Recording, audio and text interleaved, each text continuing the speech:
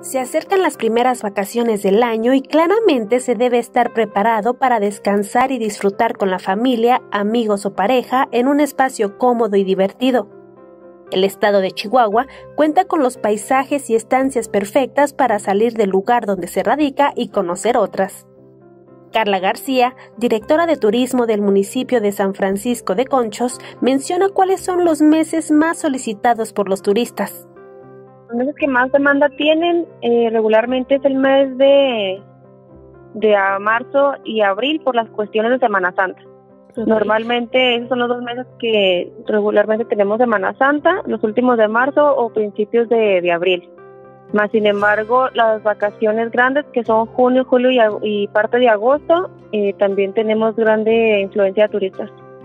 Pero es en Semana Santa que los visitantes buscan dos municipios en específico. Pues mira, en Semana Santa nos acompañan más familias, entonces la sección de los filtros, donde están los balnearios de aguas de, aguas de manantial, es el punto donde primeramente se, se llenan estas áreas de turistas. Y en segundo tenemos lo que viene siendo el lago Colina, al ser los lugares más demandados, las solicitudes de los clientes se comienzan a reflejar desde los primeros meses del año. Empiezan a hacer las reservaciones los turistas a, entrando enero, incluso algunos desde diciembre. Sí, como regularmente nosotros aquí en el municipio empezamos lo que son los, eh, la apertura de, balnearios o, o, centros recreativos, lo que es giro turístico, empezamos con la apertura en Semana Santa. Entonces son los primeros meses cuando los, los turistas empiezan a hacer sus reservaciones.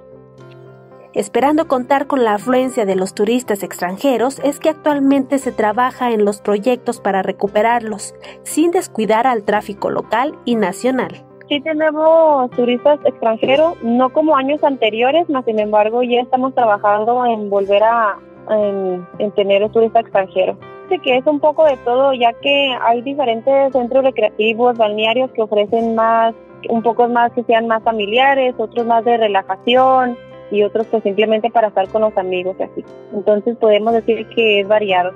Lago Colina se ha colocado en el lugar más solicitado en los últimos años y hasta la fecha continúa dentro de los planes de los turistas, en especial de los deportistas. Pues mira, el lago Colina es reconocido porque eh, en años anteriores se practicaba mucho lo que era el esquí. Entonces se quedó la costumbre de hacer ese tipo de actividades, pasear en lancha, deportivas, hacer esquí, en kayak y natación en, en, tabla. Entonces yo creo que ese es el fuerte más de, de la zona de Colina, los atractivos eh, actividades que se pueden hacer dentro del lago.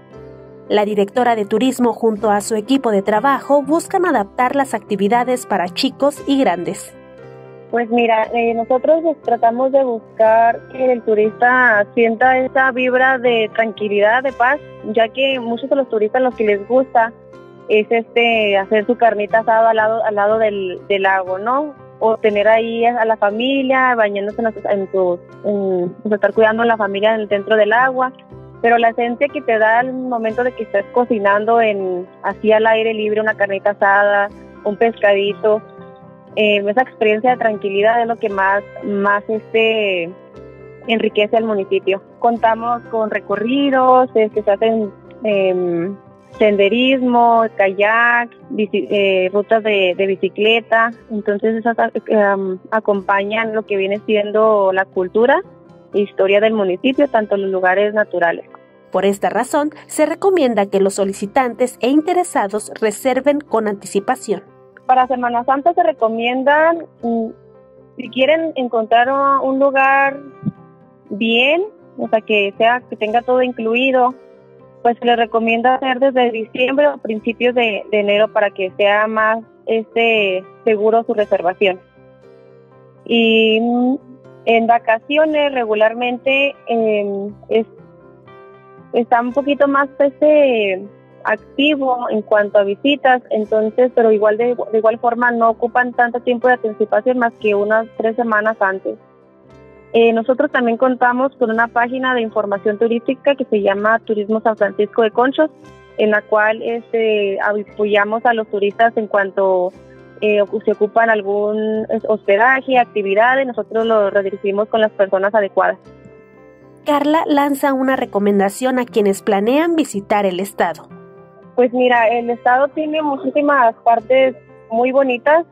Eh, lo que yo recomendaría es que en cada lugar que, visitaran, em, primero tuvieran la, costumbre de ir directamente a lo mejor presidencia municipal o puntos de información turística directos de cada municipio, porque ya de esa forma te orientan más a lo que a lo que ya estás buscando, ¿no?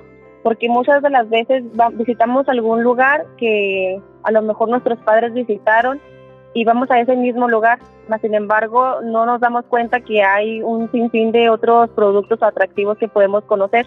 Entonces mi, mi recomendación es esa, primeramente buscar la información o acercarse directamente a, no sé, a esos puntos turísticos de de cada municipio para que podamos enriquecernos más con información más directa. Para adquirir una información más detallada, los interesados pueden comunicarse con la directora. Directamente conmigo, yo con gusto los puedo, les puedo este, dar la información.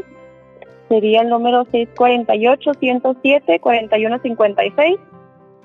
Eh, y si no, igual aquí en la presidencia municipal tenemos, eh, tengo mi, mi lugar en el cual les puedo dar información. Más sin embargo, también contamos con una promotora turística en el municipio que se encuentra a la entrada de la comunidad de Boquilla, eh, donde la Boquilla regularmente, bueno, es reconocida por tener todos estos atractivos naturales y balnearios. Con edición de Ángel Enríquez para Net Información Total Multimedia, Mónica Delgado.